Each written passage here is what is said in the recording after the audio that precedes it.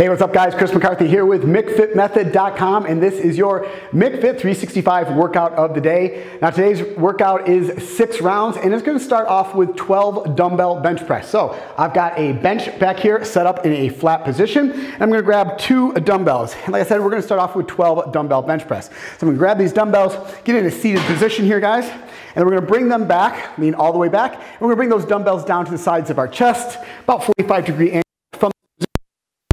them straight up overhead, opening up those arms all the way at the top, locking out those elbows, and then slowly bringing them back down to position right next to your chest. So all the way up, and then bring them all the way back down. Really focus on that negative, guys. Don't just slam them back down. Press them all the way up, really engaging those chest muscles.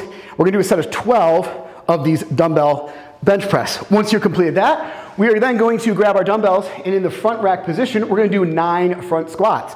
So from this hang position, you can just bring them up into a front rack position.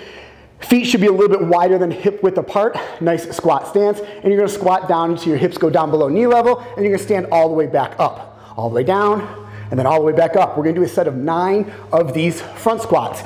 Now in this squat position, we wanna make sure, like I said, we wanna have our feet a little bit wider than hip width apart into a nice squat stance stance, our toes are tracking out slightly here, guys. And when you go into that squat, you're gonna have these dumbbells in that front rack position. So they're gonna be front heavy. It's gonna wanna pull you forward. What we wanna do is making sure that we're keeping that chest up, setting those hips back. And when you squat down, placing all your weight back into your heels so it doesn't pull you forward around your back because all that weight's right up here in the front. So you're gonna go all the way down. Also, when you're in this squat position, make sure your knees are tracking out over your toes. What we don't want is them to cave in and you're squatting down into this position right here. So make sure you're opening up those hips, knees are tracking out your toes. And you can do nine of those dumbbell front squats. Then we're gonna jump up here on the pull-up bar. We're gonna do nine pull-ups.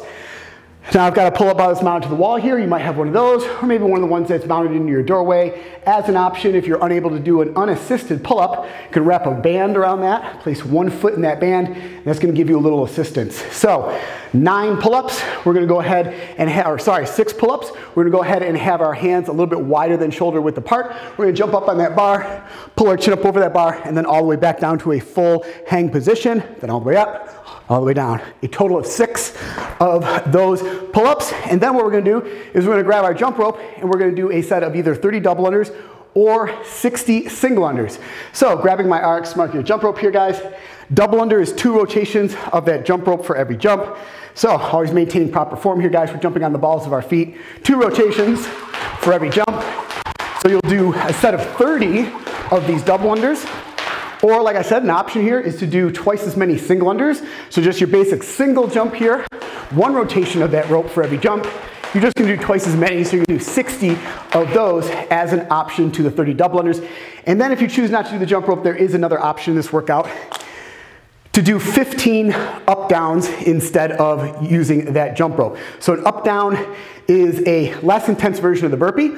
So basically from an upright position here, basically we're just gonna squat down, put our hands on the ground, we're gonna kick our legs back into a plank position, we're then gonna bring our feet forward and then we're gonna stand fully upright. So down, kick your legs back into a plank position here, making sure those hips aren't sagging down, engaging that core, bring your feet back in, and then you're just gonna stand up opening up those hips at the top, chest up, making sure we're not stopping at this point. Make sure you're opening all the way up. So down, out, back in, up.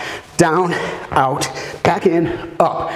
So you can do 15 of those up downs as an option to either the 30 double unders or the 60 single unders. Once you've completed that, that completes one round of this six round workout. So to recap really quickly here guys, we're doing six rounds of the following. We're gonna do 12 dumbbell uh, bench press. We're gonna do nine dumbbell front squats.